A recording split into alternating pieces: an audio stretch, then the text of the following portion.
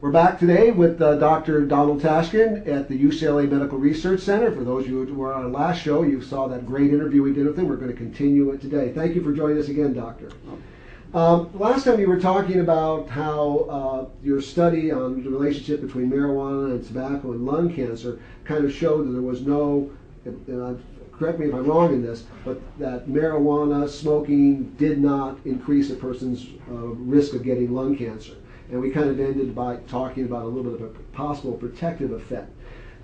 You, it's you said it was you said it was a, non, not an unreasonable hypothesis. So this this is something that should be looked into. Are you going to be doing that kind of a study, or do you know anyone who is going to be studying? Uh, if there is any potential uh, uh, protective effect? Uh, well, I know that there are a number of investigators who are interested in the, uh, the anti-tumoral effect or the possible anti-tumoral effect of, uh, of THC, uh, particularly Italian investigators who are experts in cannabinoid chemistry. THC belongs to a group of compounds called cannabinoids, and they're interested in, in elucidating the mechanism of that anti-tumoral effect but that's an, but they're they're looking at mechanisms in animal models and cell culture systems that may or may not be relevant to the human condition. I didn't mention that there's one other uh, possible mechanism that might explain our re- results, and that is that even though uh, smoking one joint a day of marijuana might be equivalent to smoking four tobacco cigarettes, that amplifies the effect of lesser numbers of joints of smoking compared to uh, tobacco cigarettes, the number of tobacco cigarettes that are generally smoked. Nonetheless, there are very few marijuana smokers who smoke as much tobacco as tobacco smokers, even when you use that four to one, correct for that four to one equation. Also, that four to one equation is probably not accurate because marijuana joints are not of equal weight to tobacco cigarettes. It's probably more like two to one. So, in order, and we know that if you smoke less than about a half a pack of cigarettes a day, that's 10 cigarettes a day, uh, that your risk for developing cancer is not that much greater than a never smoker. And even if you smoke up to one pack a day, it's still not that much greater. So there's a dose response with tobacco. So uh, if you take uh, one pack a day for, let's say, 20 years, is 20 pack years. Well, in order to the equivalent amount of marijuana joints to 20 pack years.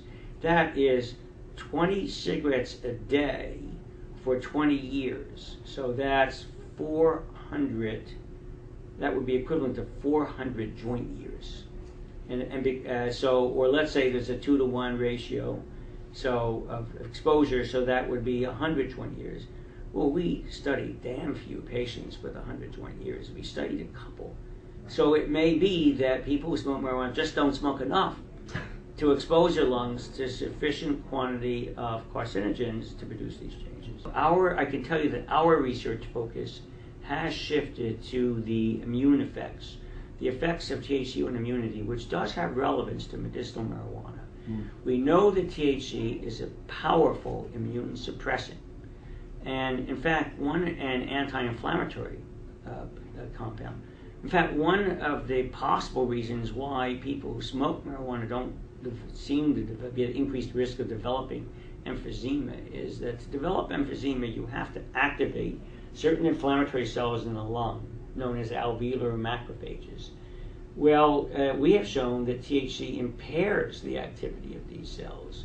So, in a sense, that might be protective against the development of COPD or emphysema, but it could have a harmful side as well. It's, a, its anti-inflammatory effect is a two-edged sword because you need those inflammatory cells to protect you against bacteria and, and other microorganisms. So it's possible that people who smoke marijuana, uh, particularly a lot of marijuana, may be at increased risk of pneumonia and other respiratory infections, particularly if they have underlying immune uh, deficits, as is true in patients with HIV uh, disease and patients with cancer on cancer chemotherapy. So we're interested in further exploring the effects of THC on the immune system, and the ability of the immune system to mount, for example, a response to vaccines. It could, it's conceivable that that could be impaired. That's the direction of our research now. Okay. we're talking about the dangers of, of marijuana seem to be what you're concentrating on is danger of smoked marijuana. I'm wondering, has there been any, are you looking into any kind of studies of people who vaporize marijuana instead? Well, I think that's a reasonable approach to developing um, THC or marijuana in a form uh, that would be uh, uh, eliminate exposure of the lung to uh, carcinogens in the smoke and, and other noxious substances in the smoke, uh, the oxidants, etc. So that uh, vaporization would seem to be a reasonable approach. Um, what is your opinion of the medical benefits of marijuana? Is there medical benefits to uh, utilization of marijuana?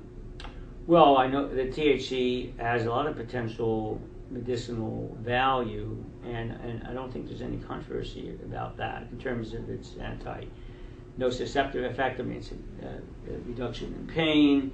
Uh, there is some evidence of reduced spasticity in, in, in, in animal models in, in particular. Uh, and obviously, we know uh, about the effects on, on nausea and vomiting and on appetite. Is and THC is approved for use, as you know, in maybe a form that's uh, not that um, agreeable uh, uh, as, as, as, a, as a capsule. I think Marinol is a capsule. Yes, it is. Uh, and um, uh, so there are clearly medicinal benefits. There might, in fact, the anti-inflammatory effect could be beneficial. We have a lot of anti-inflammatory compounds that we use for a variety of inflammatory diseases, uh, like rheumatoid arthritis. Uh, we know that inflammation is associated with uh, many, many diseases, including acute stroke, that magnifies the impact of the stroke. And there's some suggestion that THC and perhaps other cannabinoids may have some beneficial effect in reducing uh, the, uh, uh, the extent of brain damage following a stroke.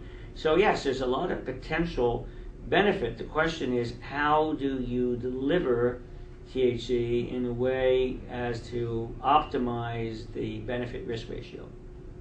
Right. That's almost any medicine is, is, is like that. It's, you talked about Marinol, which is synthetic THC, and I know there's another drug just recently approved for nausea and vomiting that has a synthetic THC. Is there any difference between synthetic THC and natural THC? Well, I, I don't know that there's any difference between synthetic THC itself and natural THC, THC itself, but there's a marked difference between synthetic THC and even natural THC, and the mix of compounds in marijuana smoke, because marijuana smoke contains uh, scores of other cannabinoid compounds, including cannabidiol, that may have some additional, may have a medicinal benefit on their own.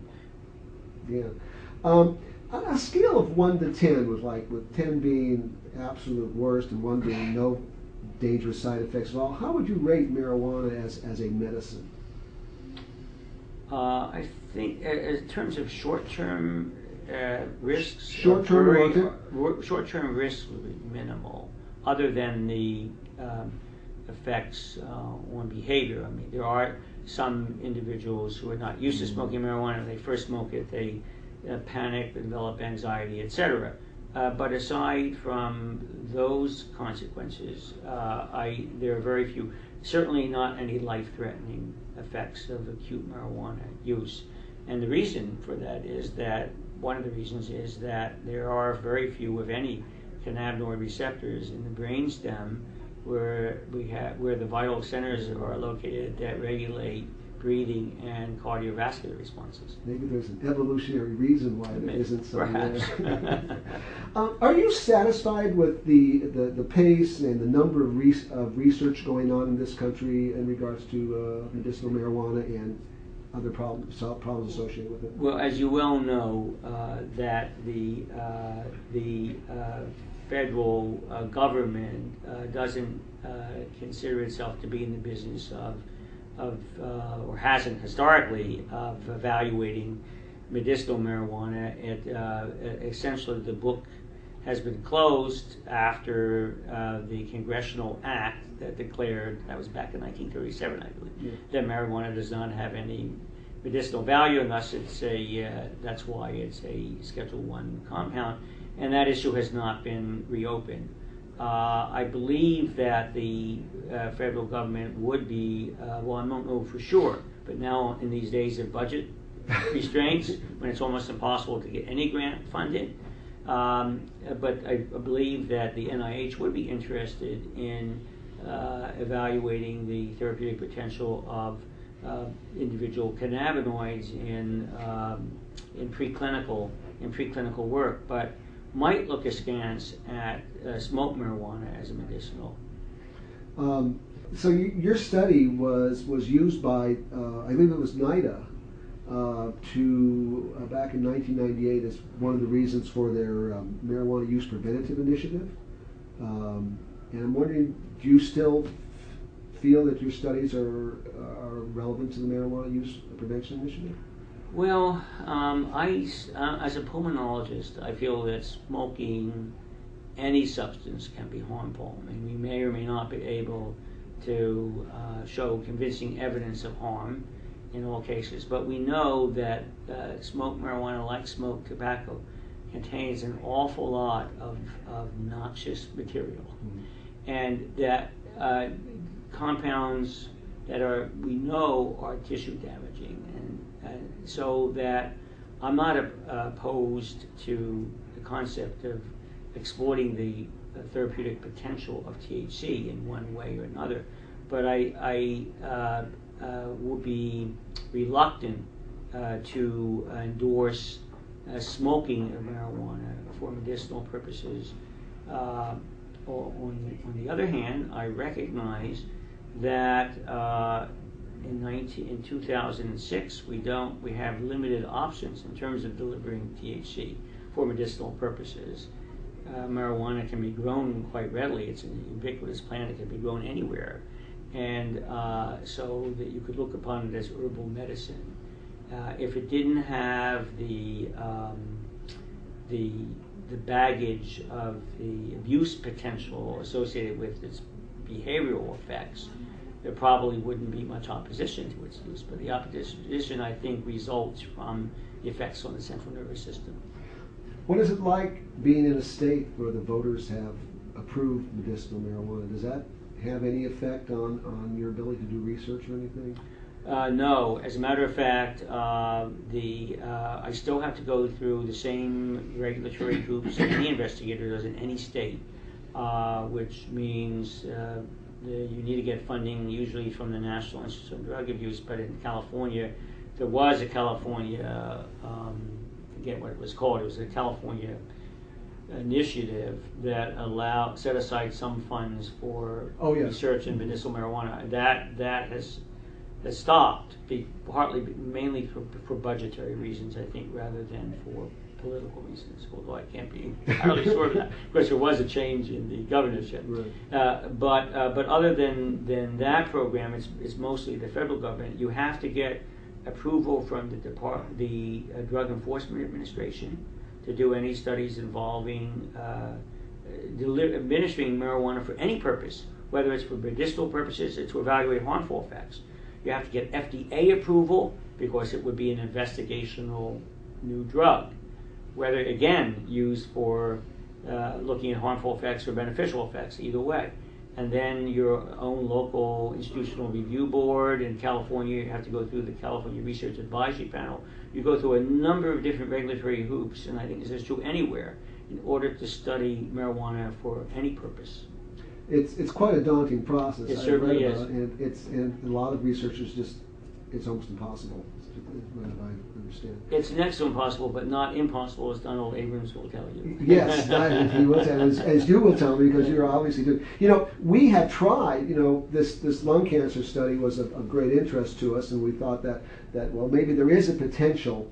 Uh, beneficial effect from in, in, in preventing lung cancer, and it certainly deserved to at least be researched.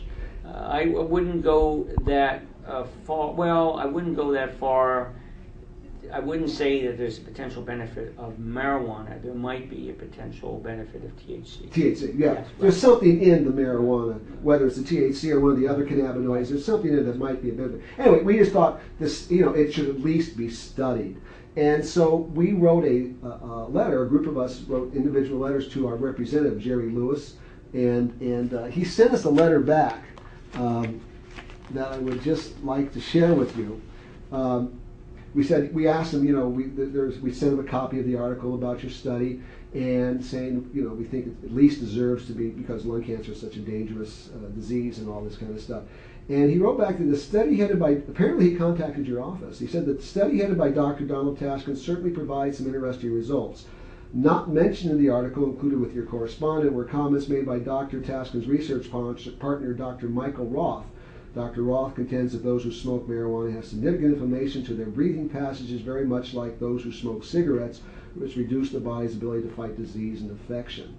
And should that be a reason not to what, what, you, what is your comment? Well, that, that? those inflammatory changes. I'm a, I'm a co-author of those papers. Right. They, they, were those studies were carried out as part of our own research program, and Dr. Roth is a collaborator of mine, and we have indeed shown uh, evidence of airway injury, both visually as well as microscopically, that I alluded to before.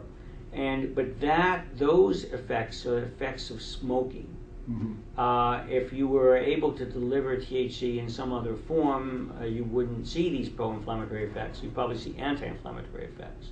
But so, but that supports my view as well, and I'm in agreement with Dr. Roth that smoking would not be a reasonable route of administration for therapeutic purposes, say for inhibiting the growth of cancer, if it turns out to be uh, truly have an anti-tumoral effect. But vaporization might be vaporization, I think vaporization is a, is a, a, an interesting and, and certainly less harmful route of delivery of THC for medicinal purposes. I wouldn't deliver it to prevent cancer. I would deliver it to relieve pain or for some other purpose. Okay.